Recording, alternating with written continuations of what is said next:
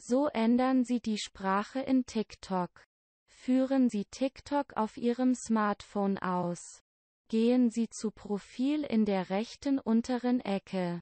Gehen Sie zum Menü in der oberen rechten Ecke.